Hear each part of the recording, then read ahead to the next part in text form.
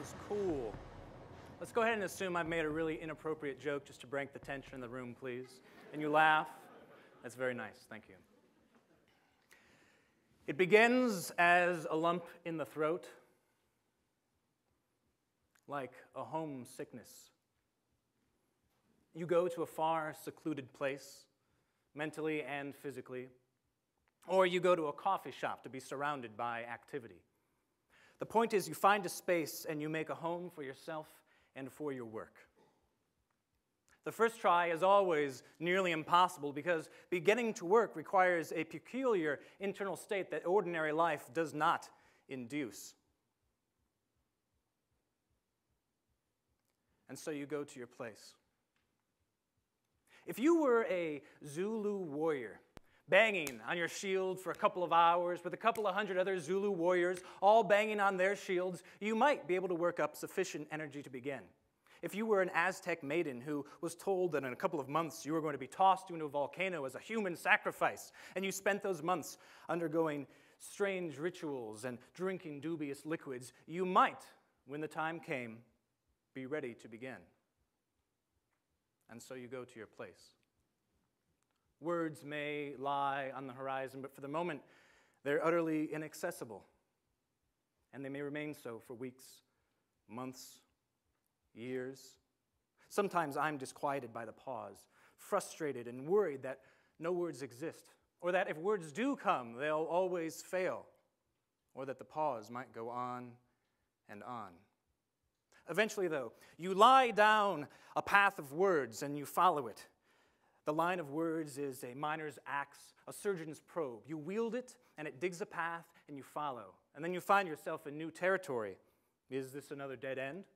Or have you finally found the real subject?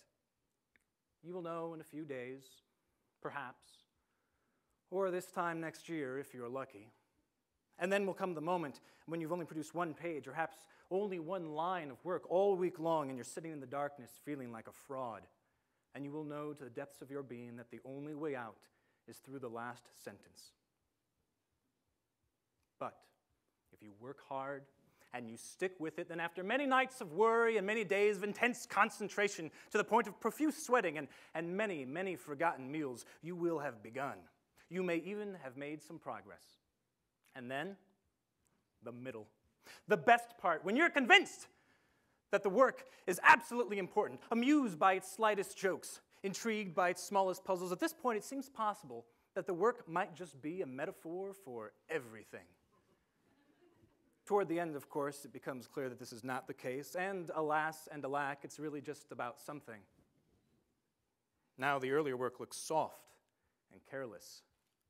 You erase your tracks, telling yourself that the path is not the work. And usually the part that you have to jettison is not only the best part, your most profound work, it is also oddly the very piece that was to have been the point. It is the key originating thought, the very moment on which the rest of it was to hang and from which you yourself drew courage to continue. But you tell yourself that the path is not the work. And so you will continue, full of terror and the knowledge that you must be generous and give all that you have and never count the cost. That all you can do is sit at the typewriter and open up a vein. But worry not. You will get a break. You can produce something of substance. It is possible. Of course, the chances of anyone breaking through their sloth and limited mind to actually produce something that gets out there in the world and matters to people are very slim. But the rule of the universe seems to be this pick something that you love and do it like a bad habit for 10 years, and someone will want a piece of it. The only catch, of course, is that sometimes it takes much less than 10 years and often much, much more. And yet we plunge forward in the name of the poet who wrote, I prefer keeping a needle and a thread on hand just in case. I prefer not to maintain that reason is to blame for everything. I prefer the absurdity of writing poetry to the absurdity of not writing poetry. For Kurt Elling, who sang, We are here because it is our intention to add to the sum total of joy and brotherhood in the room, to give expression to the human condition and add something to the plus side of the equation. For Saul Williams, who wrote, Our music is our alchemy. If you must count to keep the beat, then count. Find your mantra and awaken your subconscious. Curve your circles counterclockwise. Use your cipher to decipher coded language and man made laws. Climb waterfalls and trees. Commune with nature, snakes and bees. Let your children claim themselves and name themselves. For Kele Okereke, who said, We will not be the last. We will not be the last. We will not be the last. And finally, this is for you. You who said, I reject mediocrity. I will not linger. I will not wait until I have enough.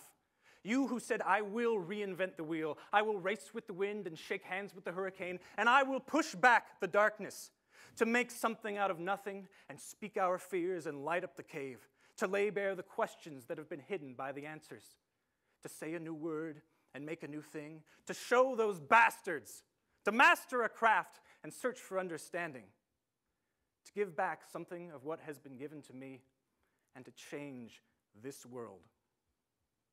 This, finally, my friends, is for you.